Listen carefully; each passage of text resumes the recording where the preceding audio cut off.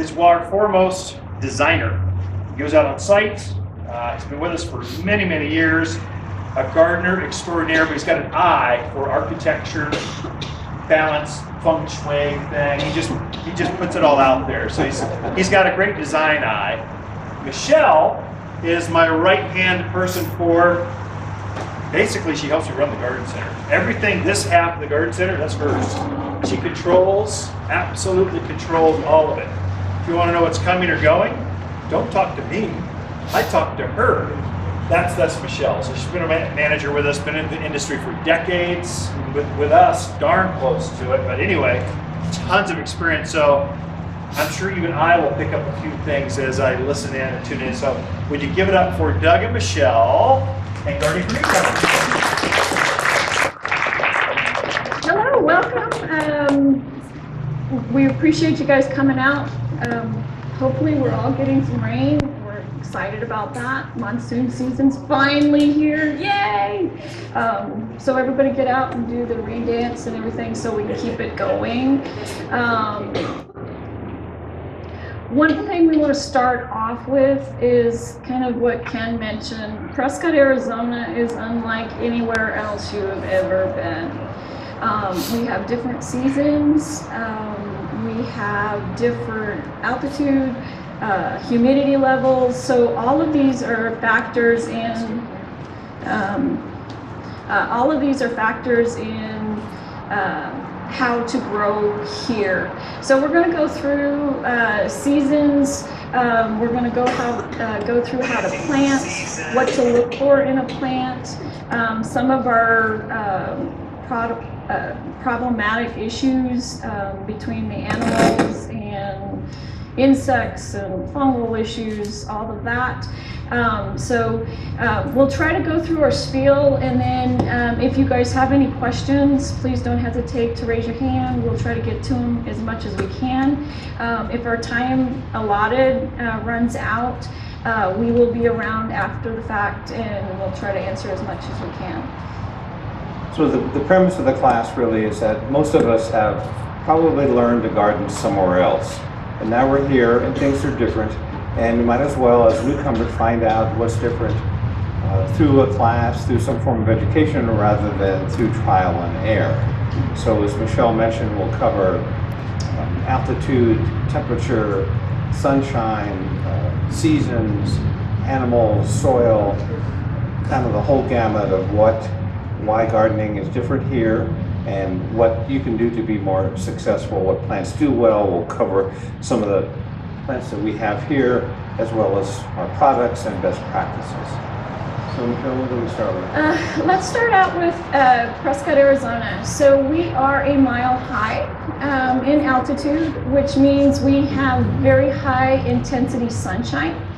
Um, we also have a very lack of, uh, or a lack of humidity for like nine months out of the year. Um, usually during our monsoon season is when the, out, uh, the humidity level will go up. Humidity, plants love the humidity, which is why you can spit a seed out in Oregon and California and Virginia and everything grows. Here, not so much. Um, so those uh, factors are huge on the difference in planting here. Uh, the other thing is, is our soil basically is non-existent. Um, it's basically dead. There's no, uh, not a lot of elements in there. Um, our pH level is super, super high, which also causes a problem because most plants like that more balanced um, alkalinity. Um, so we do have some uh, tough times ahead, and this summer has been brutal. Um, every one of us, even our season seasoned gardeners like us, we've lost stuff. I mean, it's just been brutal. So gardening is one of those things that you take with a grain of salt. You know, just because something died doesn't mean you necessarily failed. There are other reasons for it.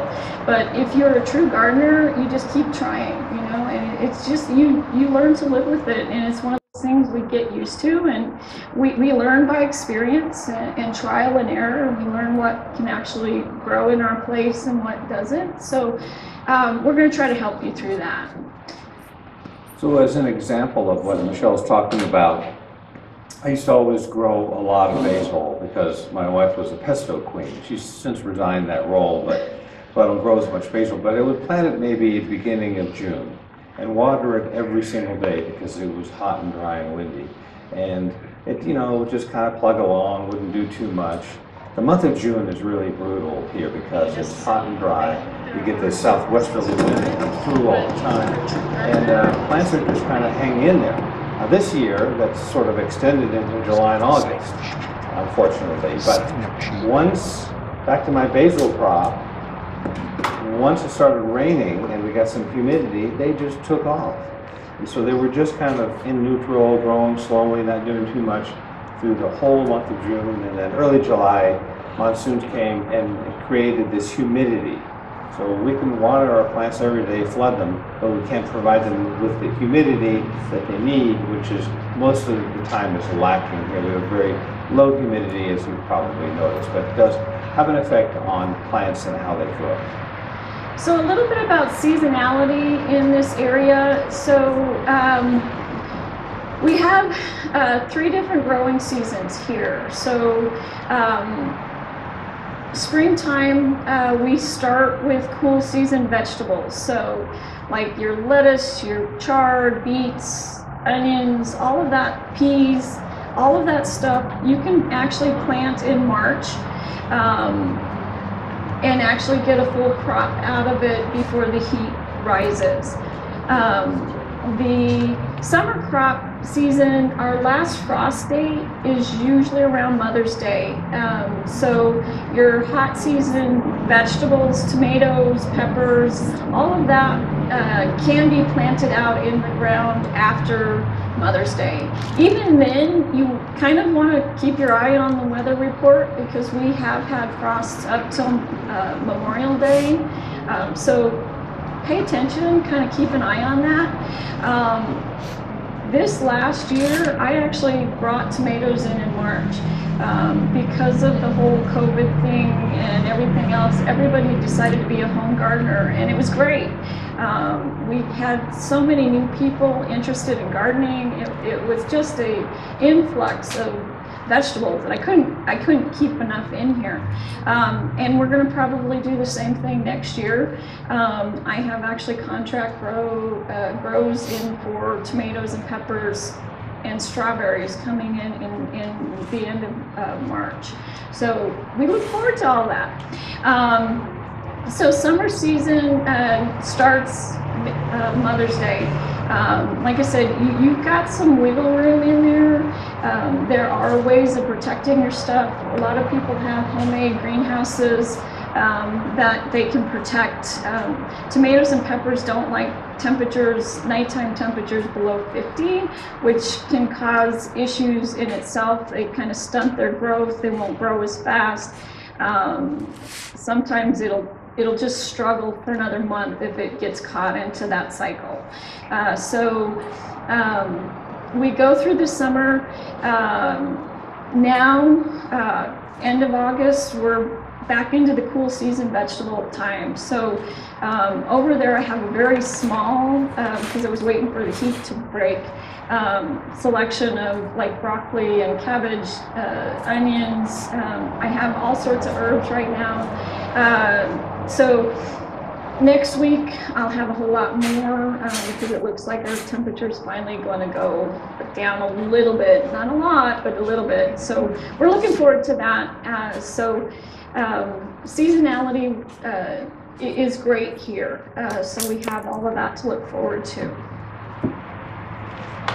I don't know if we have these yet, but I've always had good success with uh, red romaine lettuce that we usually have here, and uh, I plant it every fall. Even we grown a planter, and it's it, it'll do well uh, way into uh, cold weather. After you get a couple freezes, that sort of cool season crop will kind of fade away, but you can still get a pretty good several months of all those leafy greens. So the fall garden that Michelle's talking about includes lettuce, spinach, chard, uh, bok choy, broccoli, um, whole slew. Celery takes a long time to grow. It- uh, most potatoes is a March thing. Um, so yeah, those you can plant. Um, what is it? There's a, there's a wide tale about uh, St. Patrick's Day um, and potatoes. So that's a good time to get those in. I would imagine you could still get a crop. I mean, we've got three months, so we still have that time. So throw them in. You never know. Why not? um, our last frost date um, is, or our first frost in the fall is usually around Halloweenish. Um, that's kind of when everybody starts turning off their sprinkler systems, shutting their valves down. Um, just because we shut our water down doesn't necessarily mean we need to stop watering. Um, so I'm going to get on my high horse, uh, unless you want to get on there. your high horse, because I do this just about every week. And we'll talk a little bit about watering. Go ahead. Go ahead. Okay. Water is something that we talk about every single day Yeah, here, so and especially um, this time of year. Exactly. Uh, so watering here is one of those things you don't have to water every day. Even though we are 100 degrees, that moisture level under your soil is well, kind of stay wet. Your top three or four inches, yes, that'll dry out instantly. And those folks that water daily for five minutes, you're you're just wasting water because it's like taking a small Dixie cup of water and tossing it on your plant. It's not doing anything.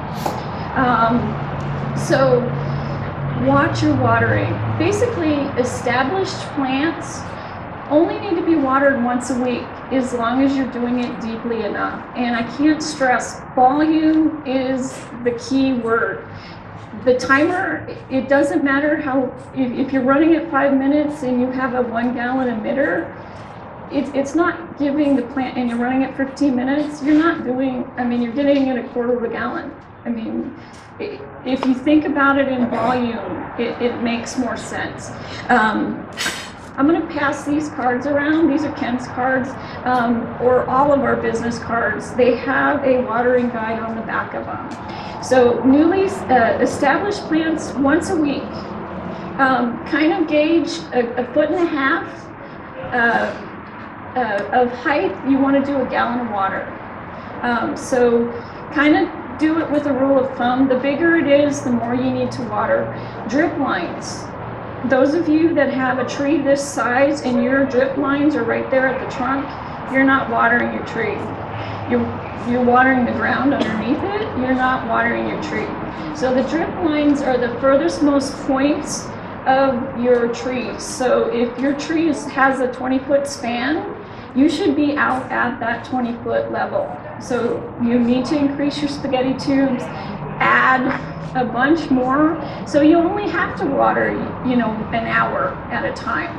Um, and put five gallon or get the adjustable ones where you can do um, 10 gallons at a time if you have huge trees. Um, new plantings, we always say water twice a week. Um, and that kind of goes with the grain of thought um, because we have so many different soil types in this area. Um, if you're up at Thumb Butte, you basically have uh, DG, uh, decomposed granite. Um, in Quailwood, Chino, Prescott Valley, we have clay, heavy, heavy clay.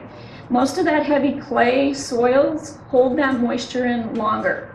So when we tell you to water twice a week, that doesn't mean just set your system up and we're gonna just water it because Michelle said so. Um, check it on that second time, day that week.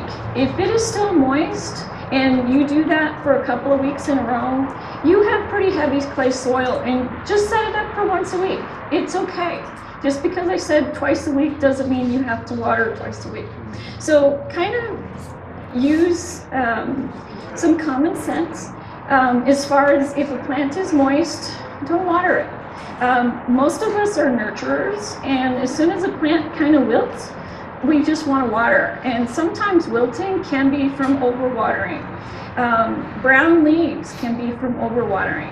So stick your fingers in the ground. Um, I would tell you to buy a moisture meter. We've been out of them for about a month and a half now um, because with everything going on, supply chains are broken down and we can't get them. Um, so use your finger. This is the best moisture meter you'll ever have. Um, pop a screwdriver in the ground about six inches and, and kind of feel down there. You will know if you, basically, if you pull a piece of soil out and it crumbles in your hand, you, you're dry. You need to water. If it kind of holds its shape nicely, you're perfect. Leave it alone. If it you squeeze it and water comes out, stop watering, um, at least for a few days, and then just check it again. Um, pay attention to your plants so you, you know what you're doing. Um, for lawns, again, twice a week, it, as long as you're watering deeply enough, that gets your root systems going down um, deeper, um, which helps through the, the drought periods when we're 100 degrees. If you have a very big, large root system, it's going to handle our 100 degrees days. Um, newly planted plants, vegetables, gardens, and stuff, those are the ones that you probably have to water every other day, maybe two or three times a week. Again, use your fingers, feel the soil. We have a, um, a website, there's a garden talk section, and there's, I believe, a handout there that's called Watering Wisely. And it has a lot of detail on how you can test your soil, what's going in your yard for, uh, to, to- to monitor your mo- watering needs. Unfortunately, there's no simple answer that works for everybody as far as how much water do I put on this tree? Well, it it depends a lot on where the tree is, uh, climate, the soil, etc. Last summer, a gentleman came in and uh, he had a photo on his phone of his blue spruce, and he said he was kind of unhappy. And He said, "My blue spruce is turning brown. It just looks really unhealthy, even though I water it every day for five minutes." And so I said, "Okay, well, that's not really the best approach. Why don't you try watering it, um, you know, once every week or ten days for an hour and a half?" And he looked at me like I was crazy, you know. So finally, I, I explained to him why I made that suggestion. He was talking about a ten-foot tree that's, a, you know, yay wide and probably has roots going down about this far. Five minutes with a hose standing there barely even gets to the roots. So you have to, you know, generally the rule of thumb is the more mature a tree or a shrub is, then the less frequently you want to water, but you want to do it for a longer duration. So you have to kind of, if you look at the watering wisely, do the testing that Michelle's talking about, you can determine, try and assess what's going on.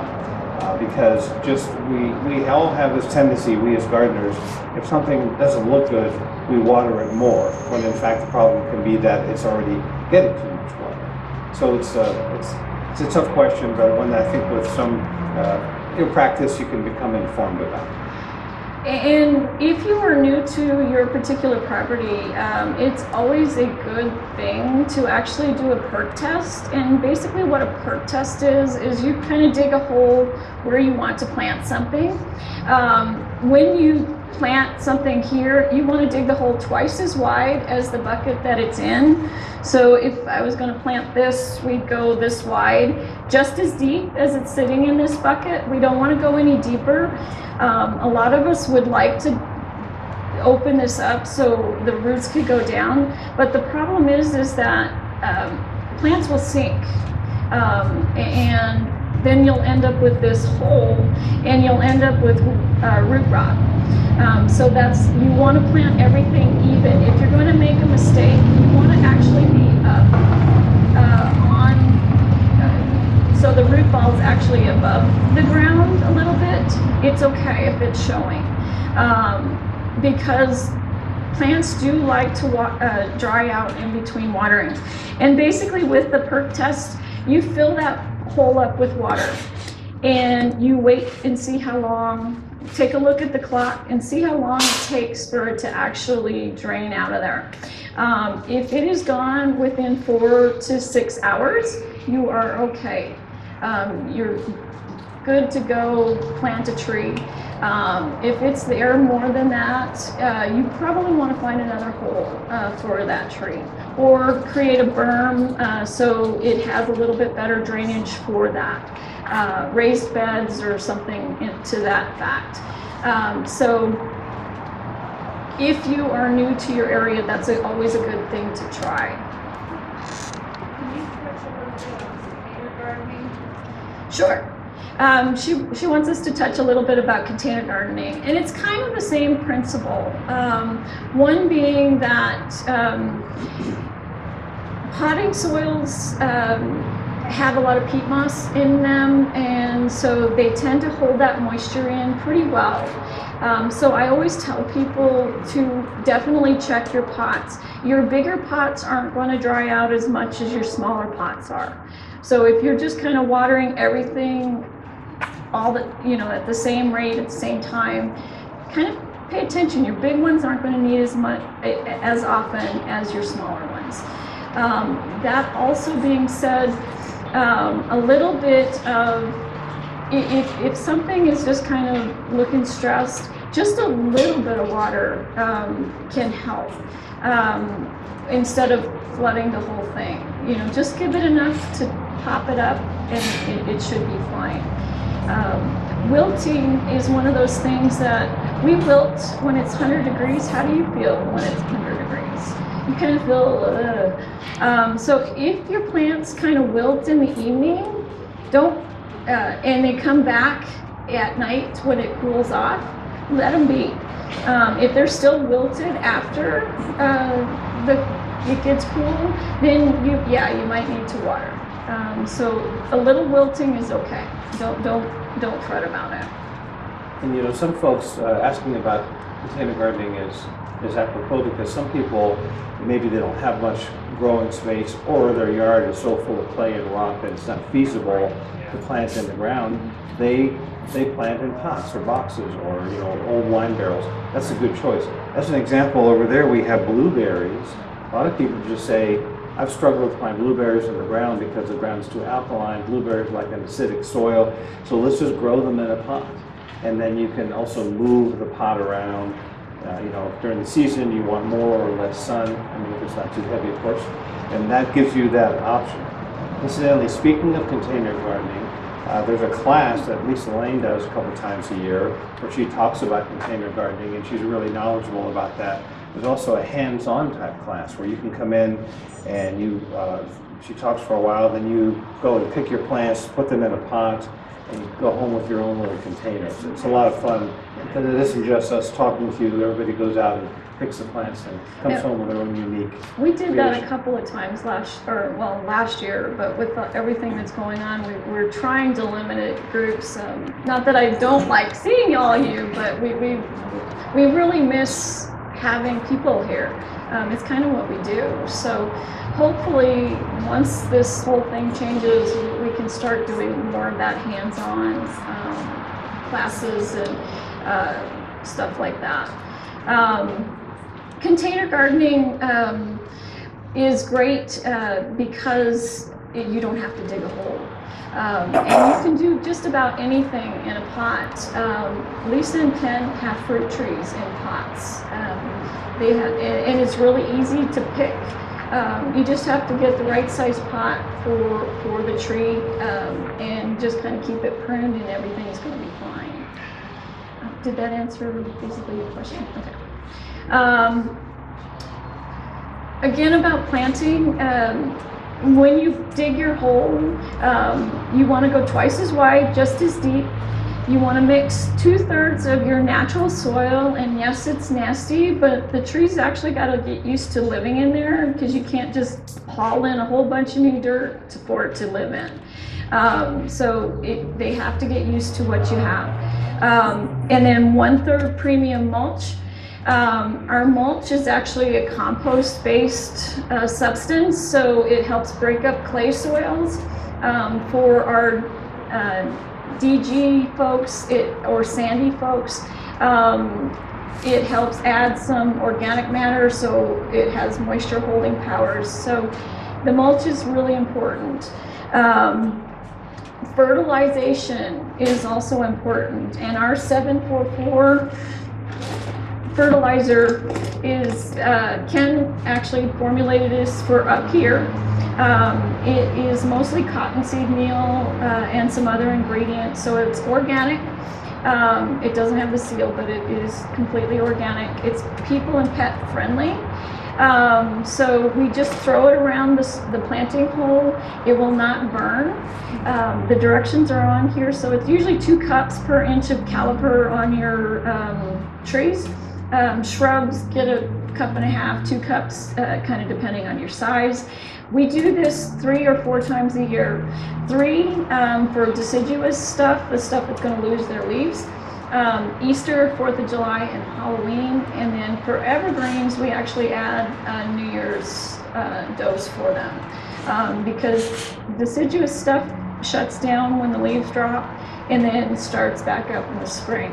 So the dose that you give it in the fall lasts throughout that spring, gets it going in the spring, and then it, the dose that in March gets you through summer. Does it talk about the times on the? No, um, but just remember your holidays. Um, it's really easy, or if you're an accountant, remember your quarters. Um, however you want to do it. it.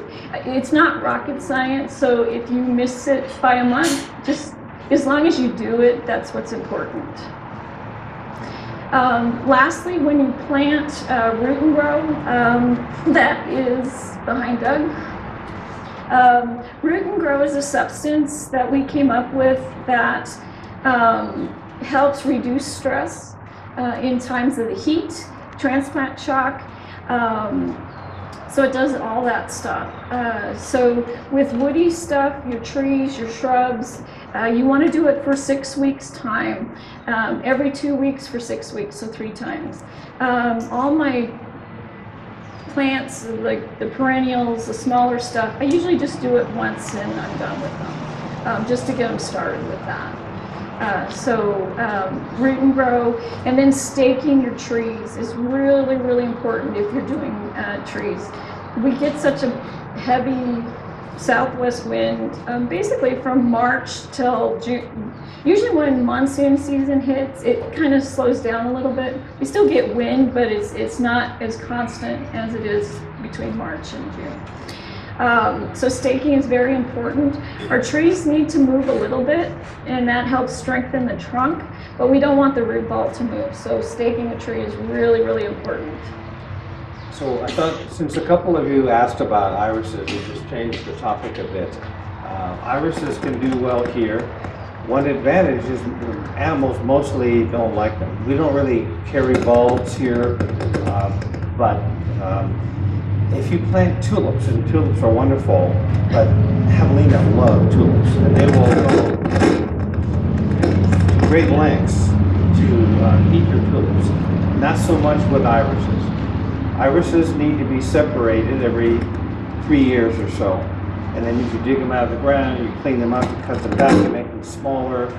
Uh, we have a handout again on Garden Talk about that. There's also an organization called the Prescott Iris Society uh, that you can get information there on how to separate. Uh, it's really basically just cut them. I found that when I separate my irises, you know, it's kind of a chore to get them out of the ground because the ground is kind of hard. So I'll just add some of our um, mulch or potting soil on top. Instead of trying to dig them up back into the ground, I just bring the ground to the rhizome. They don't have to be in the ground very deep. About three inches, you barely cover them, that's fine. So you'll find that most irises, uh, will, will, all irises will benefit from being separated. And you may find also that you're going to need, after you take them all out, cut them up, you're going to need more space. You'll have more rhizomes than you have space. So think in terms of maybe where else you might plant some irises, and that's how they kind of expand and grow. And they should do well here. They they uh, usually flower in late April. Um, a couple years ago, uh, I was I was out of town, and the, the irises flowered. I came home; they looked beautiful. About two weeks later, we had a 45-minute hailstorm, which took care of all the flowers unfortunately, but at least I had them for a couple of weeks, and it didn't damage the plants, it's just that the flowers were kind of shredded. But since a couple of you asked about irises, yes, they'll do well here, and they just, they have kind of a short, you know, one month to six week flowering season, and then, then they're back to just being kind of like perennial plants. And other bulbs that do well, uh, the daffodils uh, are one that you can plant that the animals stay away from. Um, like Doug said, you put your tulips and uh, anything else uh, of that sort closer to your house or somewhere protected because deer and rabbits, everything will eat the irises, squirrels. Um, but the, the, the daffodils are, are tough uh, little cookies and, and they, they can survive everything. Um, also put a little bit of bone meal in the bottom of the holes uh, when you plant your irises. That helps get your root system going and boosts the flower power in the spring. Uh, so those are both good product, or that is a good product to use uh, during that. Um, So if you've just moved to a property recently, it's important to try and figure out what animals travel through your backyard if you're not fenced in. If you're not fenced in, there will be animals in your backyard. You can count on that. It could be javelina, they could be deer. Most likely there are rabbits as well. If you have all of those, good luck. You're, you're in, in store for a challenge as far as gardening. Now, a lot of times, uh, people, you know, we have lists that say deer won't eat these and javelina won't eat these. Uh, it's, you know, it's kind of like a suggested sort of thing. There's no guarantee. And it's no, there isn't a whole lot of overlap. However, if you want plants that you can be pretty sure all animals will stay away from, think herbal. Over here to my right is an autumn sage. So, and there's rosemary back there. So lavender, rosemary, sage. Anything that's herbal, they're going to stay away from. This autumn sage, hummingbirds love them, but javelina won't touch them. So there's, and we have a whole class that Ken does on gophers and other animals. One year I had a wonderful crop of red potatoes. I was getting ready to harvest them. And guess what? The gopher decided to beat me to the punch by about one day. So I went out to the bed and there were a couple potato plants left, you know, but that was about it. So it's, it is definitely a challenge. So it's a question, like we are talking about watering wisely, know what the animals are. They're gonna travel through at night, maybe you've got video cameras, talk to the neighbors. You know, I talk to some people who say, I don't have animals in my neighborhood, thinking, really, where do you live? 'Cause maybe I'll move there. Uh, It's like people saying, we don't have, we don't have insects in my yard. What kind of yard do you have? I mean, I, I, maybe I could I buy your house and move in and start gardening? So it, it, it's a challenge, and I'm not trying to, you know, discourage you and so on. It's just something you have to be aware of. Um, and you plant so that you can try and work around that. Um, because it's kind of discouraging. You come in here, buy a whole lot of plants, put them in the ground. They can be gone overnight, down to the nubs, basically. or Those ripped completely out. ripped out. A lot of times javelina will just come through your yard. It could be a whole pack, a hungry family. And sometimes it takes them a while to figure out that they don't like something. But, but in the process of rooting it up, they may destroy the plant. So, um, as I say, the whole other class on how to deal with animals. This doesn't even cover insects. We're talking about mammals mostly. And that's just a part of gardening here. Um, another issue that we tend to have here, we do have bugs. Um, early in the spring, we get thrip. Um, they are a very small, tiny little, skinny little bug that you barely can see. Um, thrips are nasty little boogers that get into trees. Um, they, they get in as the tree starts to bud and they will eat the, the tissue around there. Um, when the tree leaves out, you'll get that curly, um, crinkled look on your, like your pear trees this year. Every pear tree in town, I think, ended up with thrip. Um, at least the houses that I went to. Uh, Mine do. his does. Um, some of the, the, the peach trees can do it. Um, even uh, red buds can get it. Um, a couple of ways to kind of keep those at bay is if you put dormant oil early in the spring when the trees are bare, um, hence the dormant oil. Um, it, it basically coats the tree uh, and anything that's laying dormant on there, whether it's eggs, uh, bug eggs, or fungal issues, it, it, it will keep that, um, it'll smother it, so it, it will die. Um, that being said, just because you do that doesn't necessarily mean you won't ever get um, bugs or thrips or fungal issues. Um, because most of these things fly in with the wind um, or come up through the soil and the wind catches them, bird hops through and is on your tree. So it's one of those things where at, we, we as gardeners, uh, we should have a tool closet. Um, we should have bug spray. uh, our insecticide. We should have um, weed control uh, in there, and we should have a fungicide in there as well.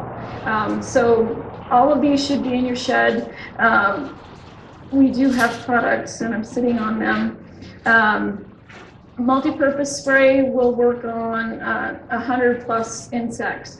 Uh, this will work on your thrips, your aphids, um, spider mites are top. Um, this will work on spider mites, but usually takes a couple of times.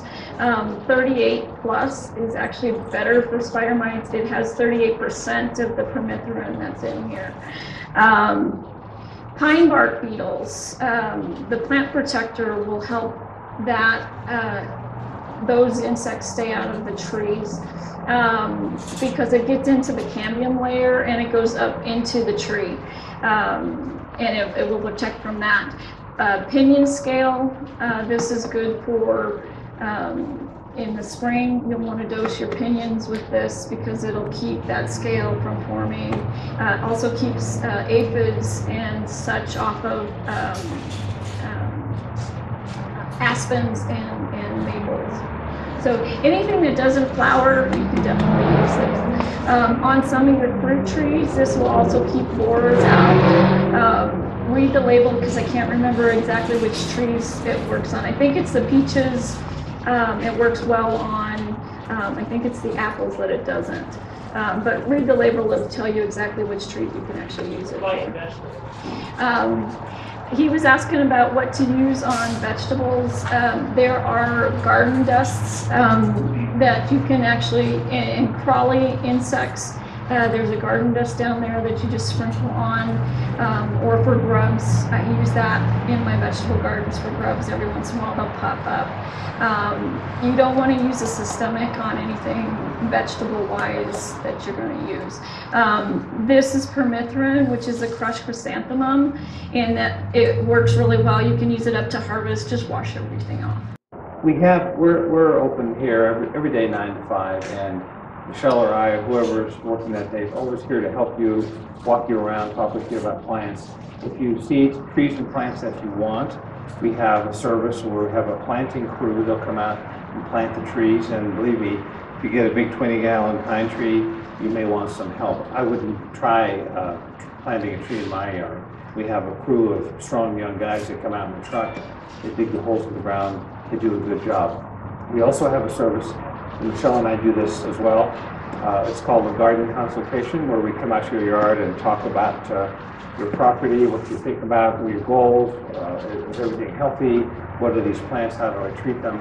Uh, we can talk with you a little bit more about that afterward, but those are some of the things that we offer here. We also have a a personal shopper where you, for an hour, someone that can take you around, you get undivided attention, when it's busy here, sometimes it's difficult to pay attention to one person for an extended period of time. But with a garden shopper, you can get to do that, so those are some of the things. I hope we know it. There- There's so many people who have moved here from somewhere else that maybe they're not familiar with the plants. They, they bought a house, we've got a yard that, you know, landscape, maybe some things are okay, some aren't. But for a lot of people, it's what are they and how do I take care of them? And we, we can help with that. And we do, um, just as a, a company and all of our associates, um, if you have leaves that have weird spots on them or you think there's a bug on them, put them in a plastic bag, a Ziploc bag, and bring them in. We have a wonderful microscope down uh, at the uh, store that we can take your leaves and look at them and we can tell you exactly what's on there. Um, it's amazing when you show these people these spider mites and on the micro or the screen, it looks like it's this big, but you can't see them with the naked eye. So there are a lot of things that are out there that we, we can help you with. Um, It's a times two hundred magnification, Yeah. so it, it makes the bug look pretty big.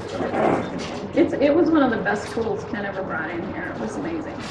Um, fertilizers, like we said, uh, the all-purpose fertilizer um, is uh, basically for everything. Um, we created that so you didn't have to go buy 15 different fertilizers for this, that, or the other. Um, he did create one uh, last year. It is a, a fruit and vegetable fertilizer. Um, basically, the difference is is that it has an extra dose of calcium that helps fruits form better. Um, it helps prevent that uh, blossom end rot that tomatoes get, um, that black spot that forms on the bottom of your tomatoes, that's a lack of calcium. Um, container gardening, you always want to put some extra calcium in the bottom of your hole um, because potting soil has no nutrients in it. So you want to make sure there's calcium in there because tomatoes use it a lot. Um, squash can get that blossom end rot as well when your fruit starts coming out and the end kind of crinkles up and just kind of fuzzes away um, that is blossom end rot on squash. So um, the extra calcium will prevent that from happening. I think I'm sitting on the bag of the fertilizer that Michelle's talking about. It's, uh, It's for fruits and veggies, it's right here. And Oh, yeah. Um, we call this root stimulation. One thing about this, it's got this the calcium and a little bit of bone meal. Be careful about leaving it out if you have a dog. I think every dog that walks past this pallet of this stuff stops to sniff it. So, you know, it's okay if they sniff and lick it, just don't let them, you know, start feeding it the bag. And that goes for the other one as well. It does say people and pet friendly. Um, if they take a lick or two of the granulars you've got on a sidewalk or something, it's not going to hurt them. But put the bag away high because they do like it, so they will try to eat it. And So- usually uh, just watering it in lightly after you've applied it will take care of that, Yeah. that. So it's not going to be An an issue, issue. yeah. Um, What is the difference between potting soil and topsoil? Her question was, is what's the difference between potting soil and topsoil? So topsoil has actually been taken out of a, out of the ground, um, and basically added with a little bit of mulch and put in the bag. Um, the potting soil is more peat moss, it has perlite in it, um, so it, it's a, allows plants that are in a small pot to drain well and so you only have to water it every so often. Um, so that's basically the difference. Um, most of your topsoil, 10 minutes? Okay. So topsoil has um, more nutrients in it than a potting soil does, but like I said, our, our, water and our ground is just feed. It, your plants will be happier for it. Um, I think before we finish up, um, we want to talk about a few plants, um, here today, and then, like I said, we can open it up for questions and, and we'll finish it up. Um, so Doug, pick two plants that you want to talk about. Okay, so here's one of them. This is a Cotoneaster. It's a great ground cover, and we have it in a couple different sizes and shrubs. There are many different versions of this plant. Um, some are going to be pretty low, some will get to be, you know, a foot or two high. They have nice little white flowers in the spring, as you can see, orange berries in the fall. Um, this particular Cotoneaster is the only one that is not decid, or that is deciduous. So this one will actually lose its leaves. Uh, it's the cranberry Cotoneaster. The other varieties that Doug was talking about are like the Coral Beauty, the Eichholz, and then the Streets. So Streets is the short one that only gets like six inches. The Eichholz gets about a foot, and then the, the Coral Beauty gets about three. Uh, How about this one? yeah. This plant that I knocked over, you can see it's still alive, actually. Um, This is called periwinkle or uh, minor. And it's a wonderful plant if you want something that's going to spread out and fill in the space. In fact, I think the handout says it gets to be about six inches tall and spreads out indefinitely. But it grows best in the shade uh, all summer long, all year long, really. You get the green leaves, and sometime you get purple flowers. Don't let it get tangled up with your uh, other existing plants, or you'll have trouble It separating is very, them. very But it's a good ground cover for a shady area. Um, speaking of shady areas, I just couldn't resist this um, pop of color. Um, this is a hydrangea, and yes, you can uh, grow these here, um, but you need some shade. Um, these do great in a shady spot where they're a little bit protected. Uh, it's that ap- hot afternoon sun that most plants do not like. So one thing I will caution, caution you is when you are reading tags, um, whether it's here or any other store, they make them for the entire country, not for Prescott, Arizona. So this guy says full sun. If you put this in full sun, he will die. Um, he will not be happy and he will die and you will think you failed, but it's because he was put in the wrong spot. So if you have questions, please ask us. Um, we try to keep them in a separate spot uh, so they're easy to find, but sometimes they get mixed up. Um, so just ask, that's what we're here for, and, and we're happy to help. Will grow in a pot? Yes, it will. It really likes a pot. It's kind of like the blueberries Doug mentioned. Um, blueberries are another one that like the shade, the afternoon shade. They don't like that hot afternoon sun. And it needs some acid. So even in a pot uh, or low, so we can lower that. Um, soil sulfur is a must, even when you're watering afterwards. Our water has pH in it, and eventually your potting soil will be, uh, that level will raise up. So hydrangea is one of my favorite plants, and one of the reasons is, years ago, um, there was a woman approached me in Safeway, and I thought she looked familiar, but I wasn't sure, and she said, you helped me to pick out a hydrangea, and, and you told me how to take care of it, and it's doing really nicely, so thank you very much. And I still was saying, thank you for making my day, that's what we try and do here. you know. I needed him last uh, week. Yeah, see these, remember I mentioned the hummingbirds here? We have them actually on the payroll, you know, we actually give them the OX for our nectar. So they're, they're, you know, we say hummingbirds, they like to come in and they feed, so people can see that's really happening. Okay, any other questions? Yes, sir. I'm starting a vegetable garden, and I was just wondering if there's some other plants that I could plant around the vegetables to discourage bug infestation. Uh, his question was, is, uh, what else could he plant in a vegetable garden to discourage bugs? Um, marigolds, uh, are uh, supposedly to keep bugs out. Um, so if you plant them strategically, that'll help. Um, citronella geraniums can help as well. Um, that's, or lemongrass, anything that has that lemony scent, lemon balm, um, onions, great. Um, uh, so um, all of those things will, will keep bugs away. Yes. The other burgundy plant that you have behind you, it's, it's an annual, right? Yes and no. Um, so basically, they're not supposed to come back. However, some of them are pretty strong and they will come back. Um, a lot of them do go to seed.